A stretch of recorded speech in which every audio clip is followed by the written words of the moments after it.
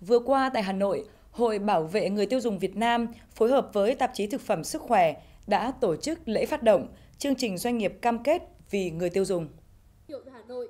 Theo kế hoạch, chương trình doanh nghiệp cam kết vì người tiêu dùng bắt đầu triển khai từ tháng 4 năm 2019 đến 31 tháng 12 năm 2019 với nhiều hoạt động khác nhau như hưởng ứng chiến dịch tiêu dùng xanh, hội nghị doanh nghiệp cam kết đưa thực phẩm an toàn vào trường học tại Hà Nội và một số tỉnh. Chương trình doanh nghiệp cam kết vì người tiêu dùng nhằm nâng cao vai trò, trách nhiệm của doanh nghiệp đối với người tiêu dùng, kêu gọi động viên, khuyến khích sự tham gia của các cơ quan nhà nước, tổ chức xã hội, doanh nghiệp và người tiêu dùng vào hoạt động liên quan đến bảo vệ quyền lợi người tiêu dùng, từng bước đưa ngày quyền của người tiêu dùng trở thành động lực và điểm nhấn quan trọng trong đời sống kinh tế xã hội, góp phần xây dựng môi trường kinh doanh tiêu dùng lành mạnh.